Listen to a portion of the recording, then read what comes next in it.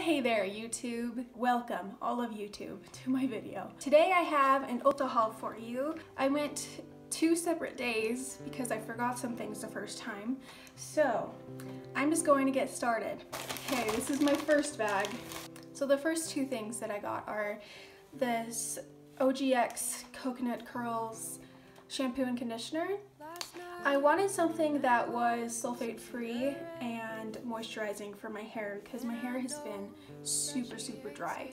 So these were on sale and yeah. And if you guys want to see an update on how any of these products worked out for me, I can do that for you. Kind of give a review of everything. my dog is running outside like crazy. Who is she barking at? So next I got quite a few skincare items.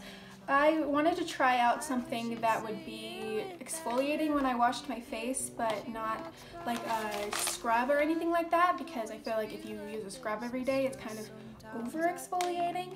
So I got this little brush from EcoTools.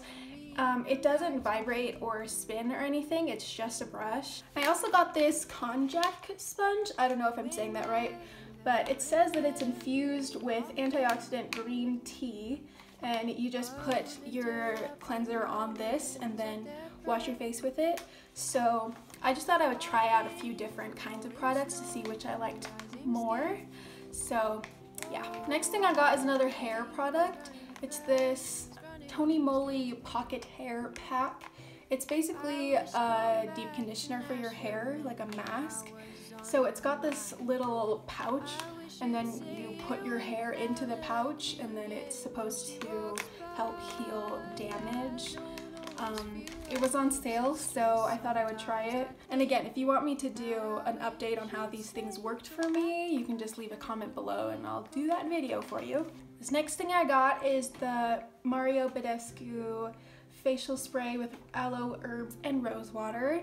I got a little travel size because I wanted to try it out, but then I just realized that the next day that I went, I went and got the same thing, like the medium size. I don't know why I didn't remember that I already bought it, but yeah, so now I'm gonna have to take one back. I don't know if I want to keep the big one or the small one, but yeah, I'll figure something out. The next thing I got was this Neutrogena Naturals Purifying Cream Cleanser.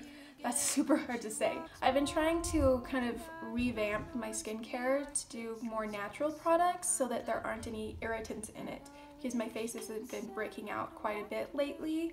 So I'll probably use this with the exfoliating brush and sponge that I have and we'll see how that works out. Next thing I got, I've actually never tried before. It's this Maybelline Age Rewind concealer. I know tons of people use this and they all love it.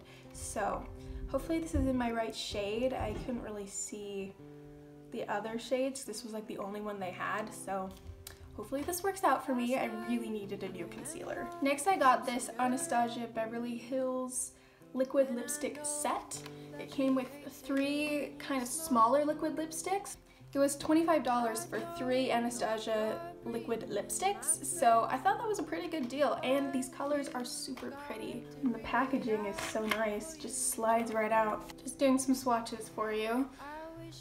Alright, so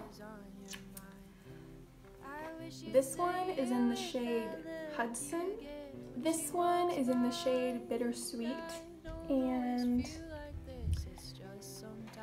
this one is in the shade Dazed. They're really nice and neutral and I'm excited to use them. I don't have too many brown shade lipsticks, so I'm really excited about this. All right, we are at the end of our haul. The last thing I got was this IT Cosmetics Superhero Elastic Stretch Volumizing Mascara.